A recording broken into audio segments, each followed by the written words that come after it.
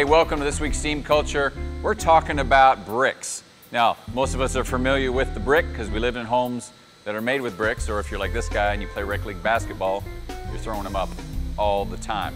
But it is interesting how much that steam has affected the brick industry over the years. Now there's four main processes for bricks. You have to dig the clay, then you mold it into bricks, then you dry it, and then you fire it or cure it. So wanted to go through each one of those processes and show you where steam's played a main role. We're starting with digging. Now all that digging of clay, which is what bricks were mostly made of, clay or mud, was done by hand for years until the invention of the steam engine, hence the steam shovel, which greatly increased the amount of clay that they could get out of the ground and sped up the process.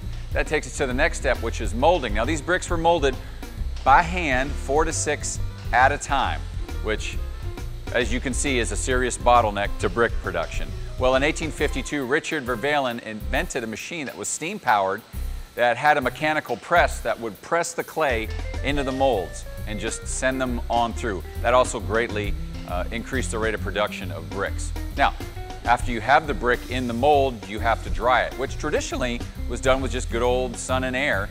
But with the invention of the boiler and the boiler being on site, they would grab the exhaust and run it through a steam to air heat exchanger, grab that hot air, send it across the bricks. Now, they're trying to get these bricks to 9 to 15% moisture. So there's still a little moisture in there. So they go into what's called a curing or a firing process to remove the rest of the moisture and heat the brick. Now, the large fire that's used to raise the bricks to 1800 degrees Fahrenheit came from wood or coal. No steam involved there. Here's where the steam comes into play.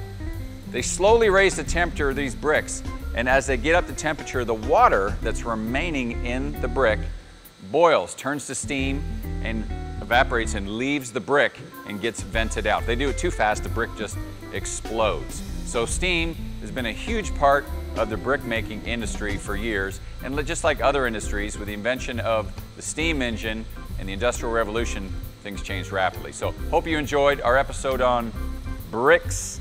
So go out and look at the brick making industry and its history. It's pretty neat. While you're out there, go find us because we have content each and every week for you. I'm going to get to work on something for you next week.